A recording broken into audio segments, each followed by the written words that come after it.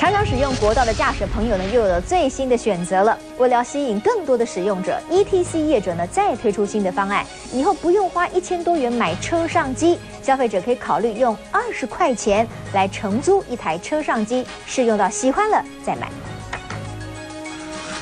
冲刺 ETC 的使用人数，业者现在试出大力多，原价一千零三十九块的 OBU，现在消费者可以用租的，而且租金只要二十块。如果您想试试看 ETC 好不好用的话哦，您可以用月租费二十元，月租费二十元，只要一杯珍珠奶茶都还不到的价钱哦。它是通行费都有九五折，以二十块的月租费来计算，因为是用九五折优惠，每次通行可以扣款三十八元。比起自己买回数票跟付现的四十块钱来说，只要经过超过十个收费站就能回本，也让消费者很心动。前在办理这个的时候，常常都是动不动都是几百上千这样子。我相信二十块应该是蛮诱人的。用低价吸引消费者租一台回家试试看，业者乐观预期，不同的试用方案将可以增加百分之五十的使用者。